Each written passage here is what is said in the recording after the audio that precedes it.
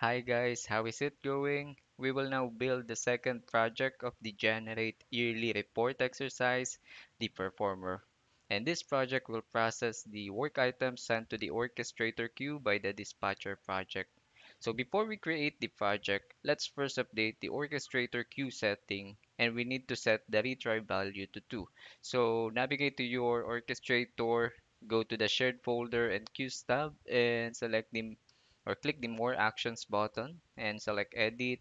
And here look for the max number of retries uh, setting field and change it to 2 after that click the update button. And next uh, let's go to the UiPath Studio. So here we will create a new project again using the robotic enterprise framework. And we will name this project generate yearly report and let's also add the word performer so we can uh, easily identify it. Now for the description, I will just use this for my project description. Feel free to add your prepared description for your project. After that, just hit the create button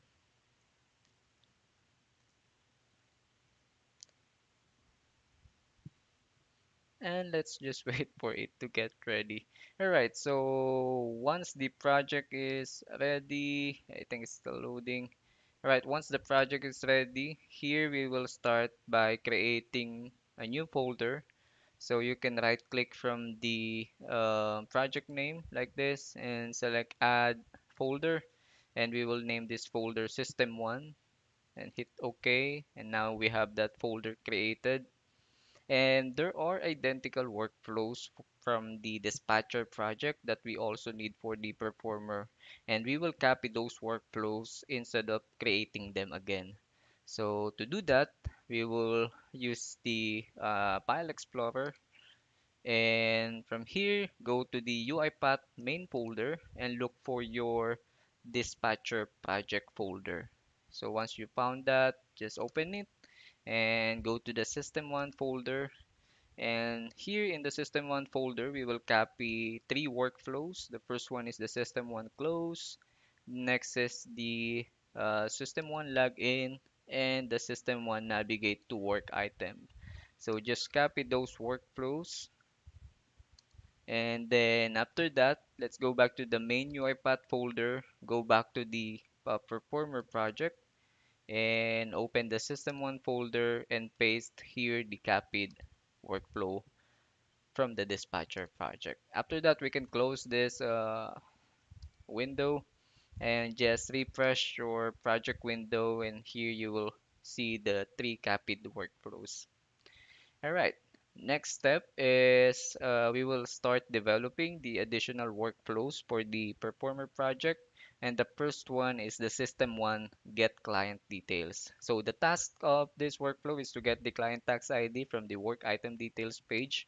So for the precondition, the system one should be logged in and we should be on the work items details page. So open your system one application and go to the work items page and look for a generate yearly report items. Then click this um, magnifying glass icon to open the work item details.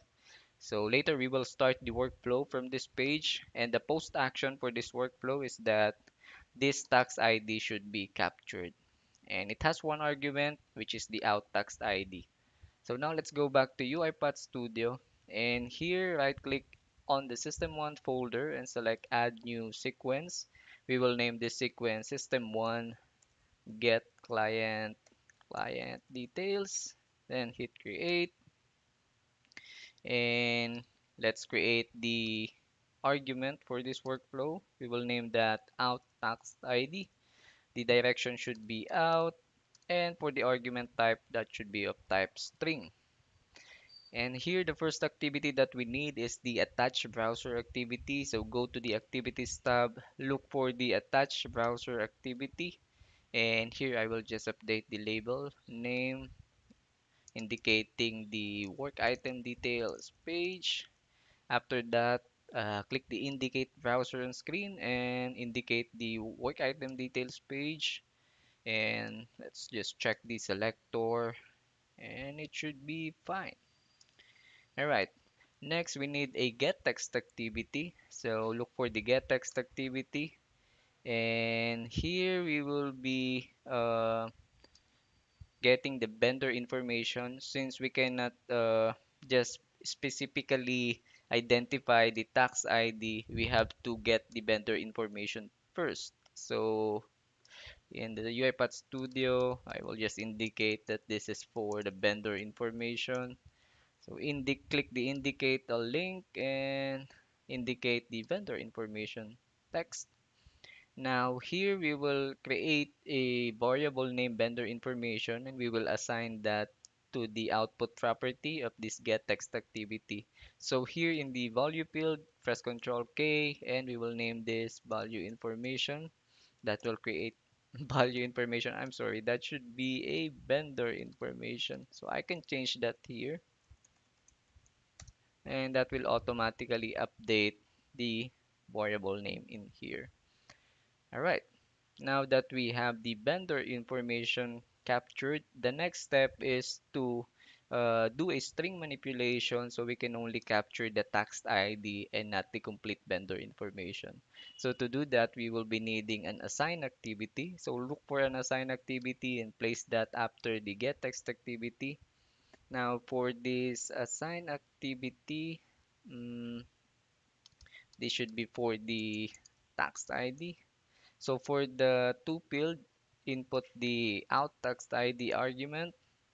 And for the value field, uh, the syntax should be uh, vendor information that substring.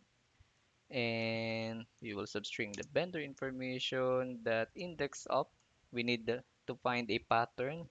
So from the work item details page, we need to copy this label before our target text. So just copy that and put that in here and we will also add the length of the text to the index and then after that we will split and we need to split it until the new line character so this is how you should do it Don't worry, I will paste the syntax in the description of the video so you don't need to, you know, manually type it. But if you want to copy, you can still do it. So after uh, inputting that syntax, just hit the OK button. Make sure that you don't have any error. If there is, there's, there's probably something wrong or you misspelled something. All right, so this is all that we need for this uh, get client details workflow. Next step is to test if this workflow is working as what we want to. So to do that, we will be adding a log message activity and this will lag the capture tax ID. So I will indicate that in my activity label name. For the log level, I will be using info. Then for the message, I will just say tax ID and concatenate the out tax ID argument volume. Okay, so now we can test this workflow. Make sure that you have the system one work item details page open and you have a generate yearly report sample open because if that's a different work items, you might you might uh, get a different result. So now here in the UiPath Studio, just click the run file button and let's see all right, you can see here that it captures FRO 65748. Let me just check if that's correct. That is correct. Maybe it's a good thing if we also check a different generate yearly report item. So I'll I'll use this one. And the tax ID here is IT2312. Let's go back to UiPath Studio and hit run file again. And now it captures IT231232. All right. And I think we can retain the log message activity here. So later when we run the complete project, we, we still we have access to the uh, tax ID captured by this workflow. And that's all for this workflow. For the next step, we will create the download monthly report workflow. So I'll see you in the following video.